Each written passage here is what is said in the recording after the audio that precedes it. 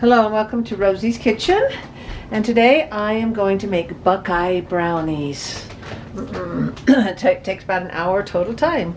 So let's go ahead and get started and show you what you need. Okay, for the, this is, there's three sections. The cake part, the peanut butter layer part, and then the topping. Okay, for the cake part, you need a brownie mix. One brownie mix, a half a cup of vegetable oil, two eggs and two egg yolks, and three tablespoons of milk. So let's get that mixed together. And turn your oven on and put parchment paper in the bottom of a 9 by 9 inch square pan.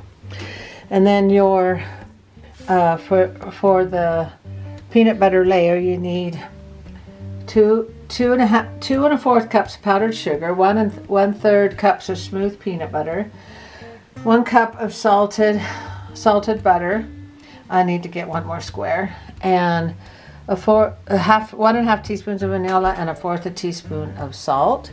Then for your topping, you need one cup of, of semi-sweet uh, chocolate chips, three tablespoons of warm heavy cream, and two teaspoons of corn syrup. I don't have corn syrup, so I'm going to do two teaspoons of honey. That's a good substitute. Okay, let's get this together. Okay, we've got everything put in there. Let's mix it up and put it in the pan. Now bake it 350 degrees for 25 minutes. And while the cake is cooking, I will make the next layer. So let's get that all mixed into here. And you just mix this till it's nice and creamy. See how creamy that is? Then we're going to set this aside and then make the next layer. I'm heating up some honey. And you, uh, you want your three tablespoons of cream, two tablespoons of honey, and the hot, hot, and chocolate chips, but I'm going to make these both hot and then pour the chocolate chips in there to melt. Okay, I put the honey and the cream chocolate chips, wait for them to melt.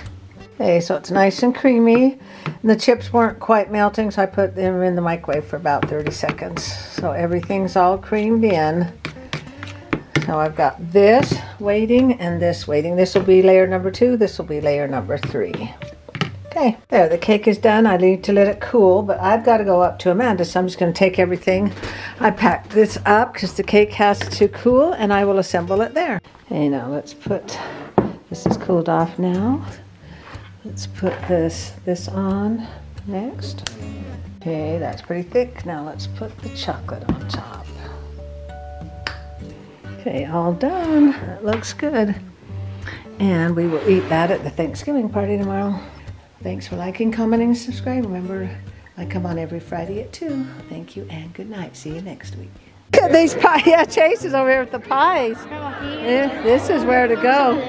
Okay. And I got my DIY there. Did you make that? Uh-huh, I made that one. Peanut butter. Yes. Brownies underneath and peanut butter and then chocolate chips on top. So good.